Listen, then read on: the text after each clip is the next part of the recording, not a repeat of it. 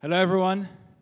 Welcome. Uh, welcome to Helsinki. Welcome to the Future of Gaming 2023.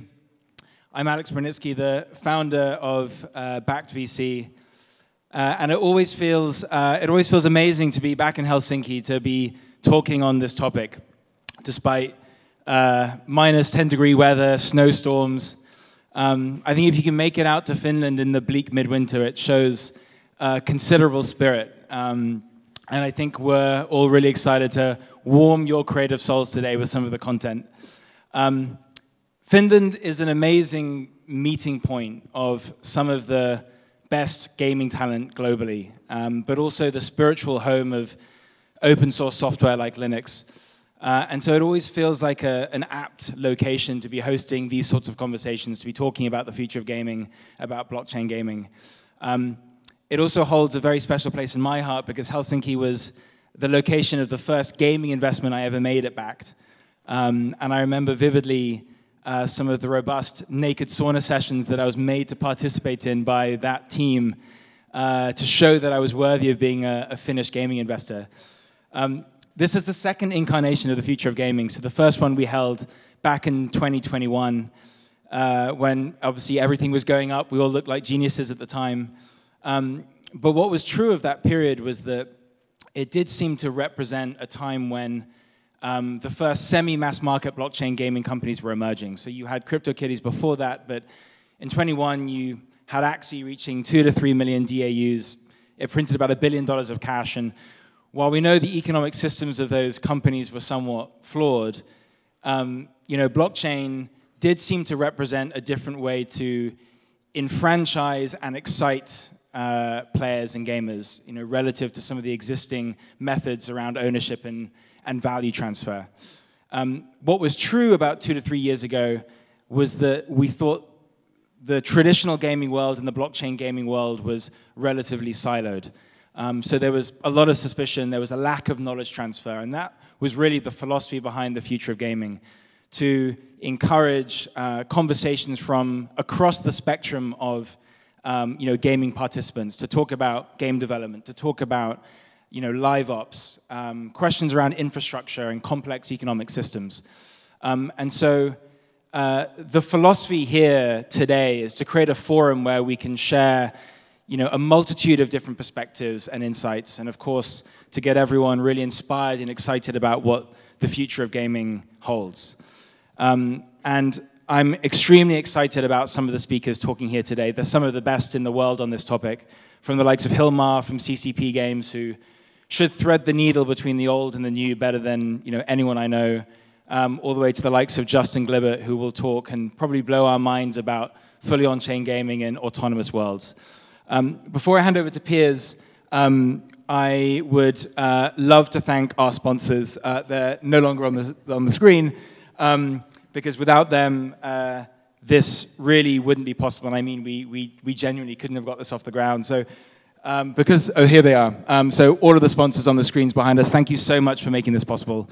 Uh, and without further ado, pass over to Piers. Yeah, thank you, Alex. Um, yeah, basically, we just wanted to reflect a little on where we've kind of been since uh, 2021, last time we were here. Obviously, Alex alluded to the negative uh, temperatures outside. It's the first time in a while where we haven't had sort of down-only price action, which is encouraging for, for all of us. Um, I think obviously we've seen sort of billion dollar, uh, billions of dollars in funding um, since 2021.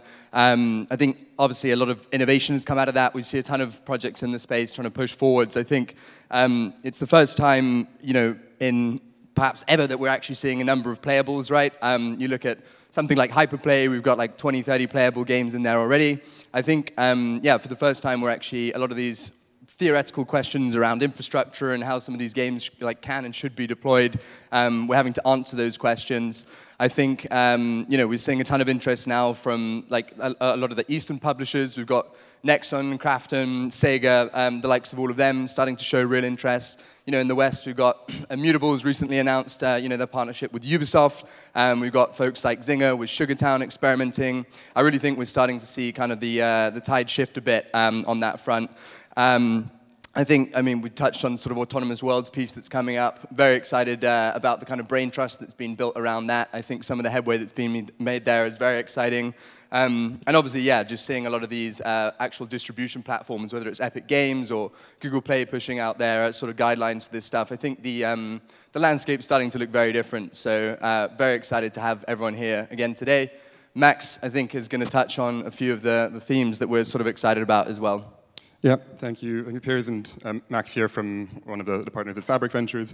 Um, I think if we look at, back at the sort of previous years, one of the topics that often came up is what's about to come. What are the games that, are, that will be shipping? What will be the games that will have users?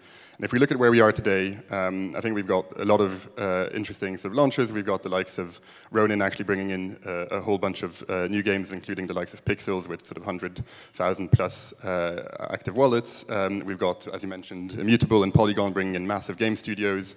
Um, and specifically one that's close to my heart, that we've got sort of Sorare that has managed to have millions of, of signups uh, with hundreds of thousands of daily active users or weekly active users, 15 to 20 million of, of volume on a, on a monthly basis of, of, cards that are traded, but specifically a, really healthy volume where actually on the secondary you have more, or twice as much volume as you do on the primary. And so it's the economy that's thriving, it's the users within the platform that are thriving. And most of them have no idea what that they're using sort of blockchain tech uh, at the end of the day. A lot of them are football fans, basketball fans, baseball fans, um, who happen to, to love the game for the characteristics it brings, uh, for the ability to, to own the assets, um, to be able to trade them on a secondary market, to, to see their, their purchases as an investment rather than an, a pure expenditure for their fun. Um, and at the end of the day, that's uh, where I think a lot of the, the fun will be uh, will be had in the, in the coming years. Um, and so that's where uh, hopefully we'll have some interesting topics um, from the likes that you just mentioned um, that uh, will, will be building the next generation of, of gaming at the intersection of Web3. And passing it over to, to Ronan. Yeah, I'm, I'm not going to say too much. I think you guys covered a lot of it. Um, I just want to say thank for everyone for coming, for the organizers and everybody to kind of put it together, especially for people coming from Helsinki, came so, so far, so thanks for coming. Um, I think for me is what really impressive about this type of events, and that's why we continually uh, collaborating on those, is really the theme of open collaboration. And I think uh, coming from, you know, Web3 and also from the gaming industry, we see the gap between how traditional gaming and studios, how they collaborate between themselves and how open collaboration in Web3 creates so much innovation uh, and much in a faster space. Um, so for me, I think events like this is really important to keep that in mind that we are playing in a very small pond today. Uh, the market is very small. We saw big investments, like you mentioned, in the last two years, but it goes down because we here need to figure out like what is that use case? What is like to show that there's something real here? Um, and there is a small pond. I mean, I think the top 5% of the industry are sitting in this room, and most likely the next big idea that's going to bring mass adoption is going to come from one of us in this room. Um, so for me, I think it's important that we take these events and um, share the challenges, talk about what we're trying to achieve, uh, be open-minded, and, and understand that we're not really, um, um, we don't have a secret sauce. Nobody really figured it out yet. and I think collaborating and, and sharing the secret sauce that we believe going to make us number one, it's, it's not a, it's not a zero-sum game, right? If, if, you, if we want more investments into the space, we need to prove something. And, and it's on us to prove that there is a big ocean out there. Um, and only by collaborating and being open about it, we can actually achieve that. So um, that's one of the things I want everybody to come out of this conversation and this uh, event. Be collaborative, be open, and understand that it's a positive, positive sum game here. Uh, if we can figure it out, money will flow in, and even if we're not number one or the number one game that wins the market, there's going to be a ton of money that will come in that all of us can stay and do what we love for the next 10 years. Because if we don't figure it out, we have to do something else in the next five to 10 years. So um, I encourage everybody to uh, work hard and share, share, share with each other, and, and thanks for coming. And for that, um, I think we're calling for the next speakers. We can pass it over to, to, to Ian, uh, who will be sharing part of the thesis on the future of gaming.